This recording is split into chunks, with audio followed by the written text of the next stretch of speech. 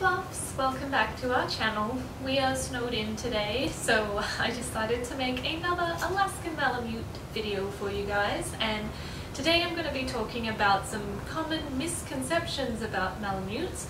So I asked my friends who own Malamutes what they've heard and this is also what I've heard after owning Danny for about 11 years, so let's get started.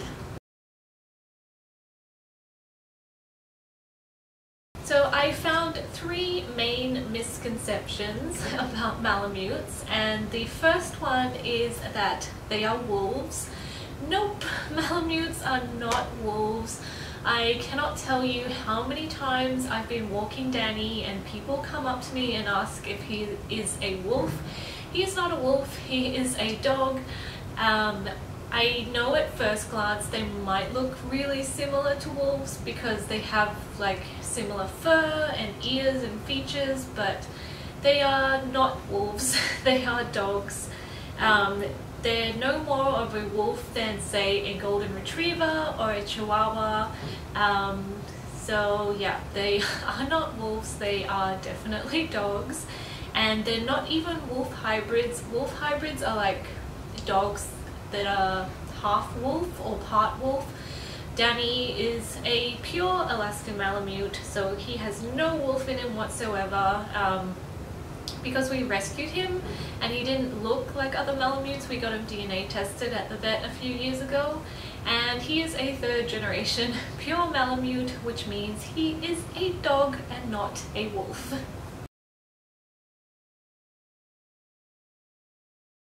Um, the second misconception that I found out is Malamutes and Huskies are the same. Nope, they are not the same. They are two different, distinct breed of dog.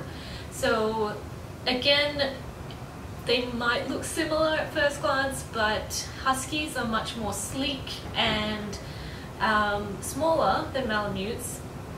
Malamutes have a stockier build and they're larger than the Huskies. Also, the Huskies have brown, blue, or one brown and one blue eye, and Malamutes have darker eyes, so um, they, as a breed, do not have the blue eyes. Um, but yeah, they're definitely different breeds of dog, so Malamutes and Huskies are not the same breed.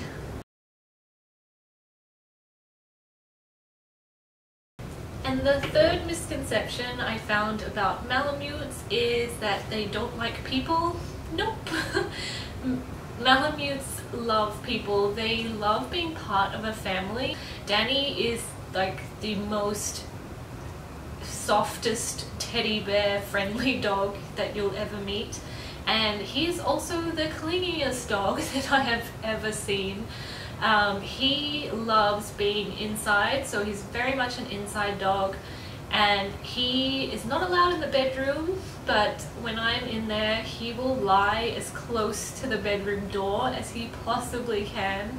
And when I'm on the couch he will like lie right next to the couch on the floor as close to me as possible like if I sit on one end of the couch he will lie in front of me and if I sit on the other end of the couch he will lie in front of me.